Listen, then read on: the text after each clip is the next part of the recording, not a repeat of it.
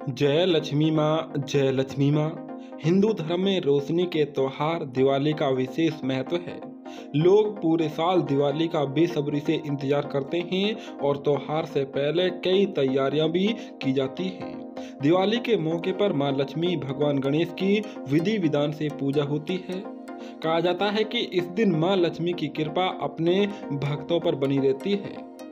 दोस्तों देवी, लक्ष्मी और भगवान गणेश की मूर्ति खरीदते समय इस बात का विशेष ध्यान रखें कि दोनों मूर्तियाँ एक दूसरे से जुड़ी हुई ना हो। दोनों में से अलग अलग मूर्तियाँ खरीदें। यानी कि लक्ष्मी गणेश की आप जो भी मूर्ति खरीदते हैं, वो तो जुड़ी हुई ना खरीदें। पूजा के लिए भगवान गणेश की मूर्ति खरीदते समय इस बात का ध्यान रखें कि आपका धड़ मूर्ति के बाई और हो।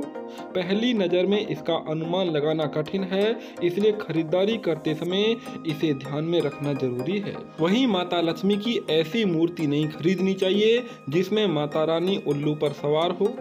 वहीं खड़ी प्रतिमा को माता के प्रस्थान का प्रतीक माना जाता है। इसलिए देवी लक्ष्मी की मूर्ति खरीदते समय इस बात का विशेष ध्यान रखें कि आप ऐसी मूर्ति बिल्कुल भी ना खरीदें। वहीं दोस्तों, घर में ऐसी मूर्ति लाना बहुत शुभ माना जाता है, जिसमें देवी लक्ष्मी माँ कमल पर बैठी हुई हो।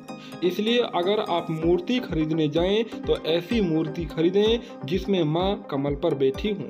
तो बहुत बड़ी खबर इस वक्त आ रही है, दिवाली का त्यौहार आने वाला है। 12 नवंबर को धूमधाम से दिवाली का त्यौहार मनाया जाएगा। लेकिन दोस्तों, आप पूजन के लिए लक्ष्मी गणेश जी की मूर्ति खरीदते समय इन बातों का विशेष ध्यान रखें। अगर कोई भी कंफ्यूज हो तो कमेंट में ज़रूर लिखें। और दोस्तों, वीडियो को लाइक शेयर करें, चैनल को सब्सक्राइब